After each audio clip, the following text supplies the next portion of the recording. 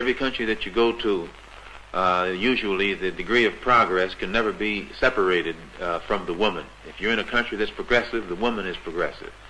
If you're in a country that reflects a consciousness uh, toward the importance of education, it's because the woman is aware of the importance of education.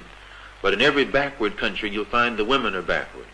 And in every country where education is not stressed, it's because the women don't have education. So one of the things I became thoroughly convinced of in my recent travels is the importance of giving freedom to the woman, giving her education, and giving her the incentive to get out there and put that same uh, spirit and understanding in the children.